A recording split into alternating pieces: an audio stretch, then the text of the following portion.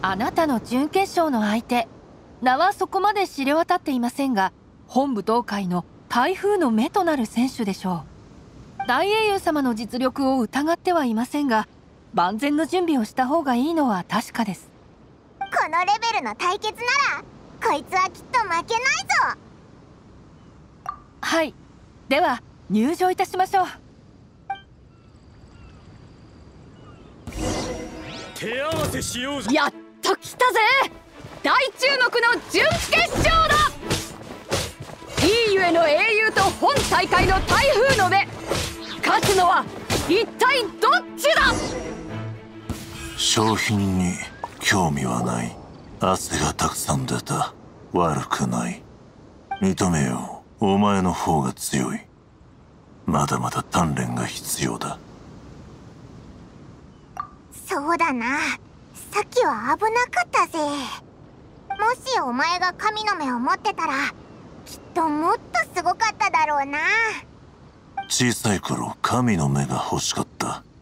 それを手にすれば強くなれると聞いてな。だが手に入らなかった。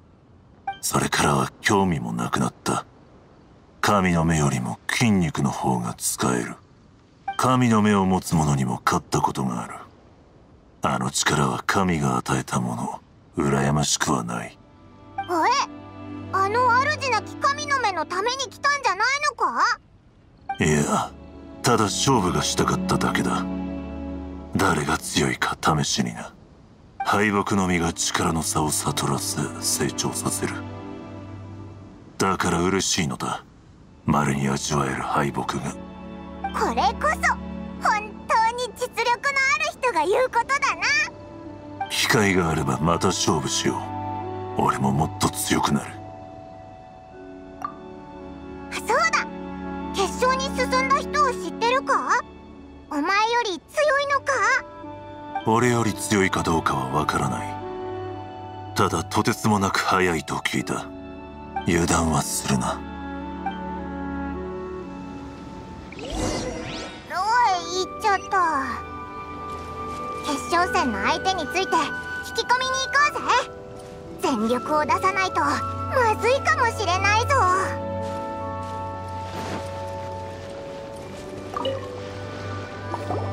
君か。勝負は見させてもらったよ。見事だった。俺は3回戦で終わったよ。はあ惜しかったな。せめてもう一戦くらいできたら。決勝戦は誰が進んだか知ってるか？俺を任した人だよ。すごかったぜ。とてつもなく俊敏で人の隙をつくのがうまかった。少し隙を見せただけで次の瞬間地面に倒されてたよ。俺の体格は力比べなら負けないんだが俊敏さとなるとどうにもならない。でもまそいつが相手でもお前には勝てないと思うがな。あ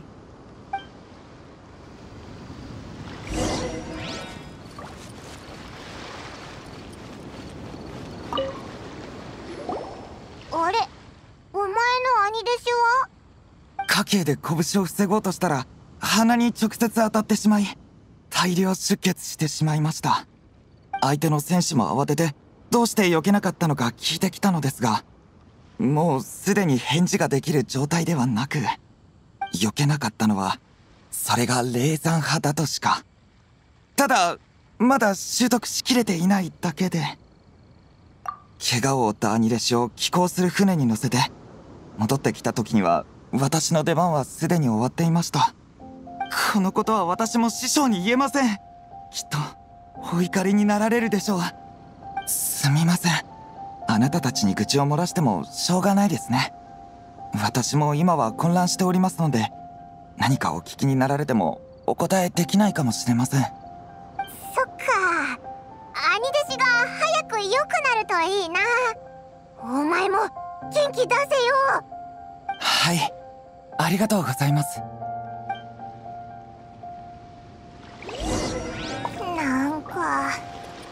役に立つ情報はなかったな。北斗に聞いてみよう。何か知ってるかもしれない。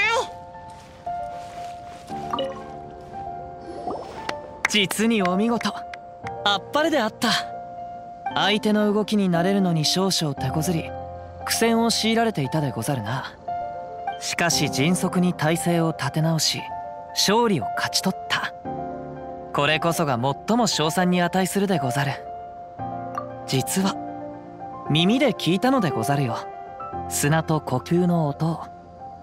しかしこの程度は造作もないこと。姉君にも分かっていたでござろう。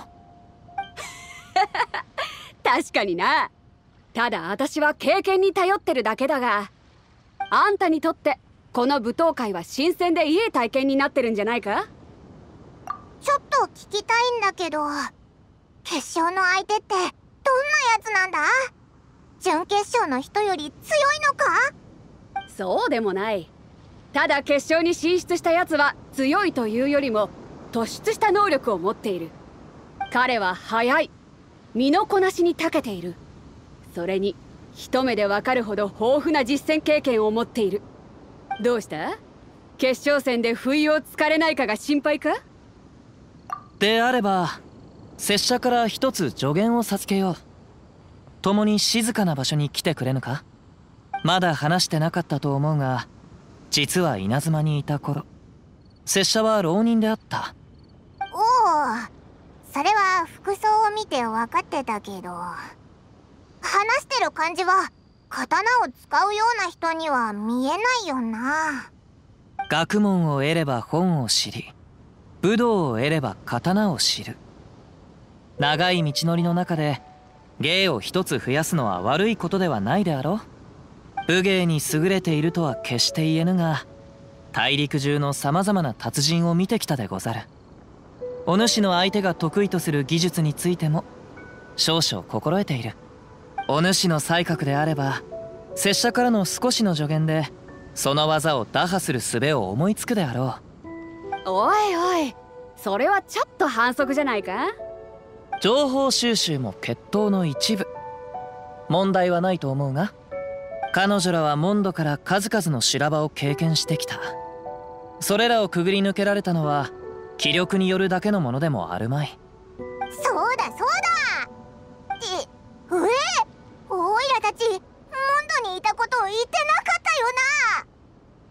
たよな その場所へ行けば自然の中に足跡を残す。そして自然はお主らに特別な匂いをもたらすのでござる。しかしその匂いはあくまでも拙者に助言を与えるのみ。本質に触れることはできぬ。拙者もまだまだ気になることがたくさんあるのでござるよ。拙者と共に行かぬか。試合後の余興として。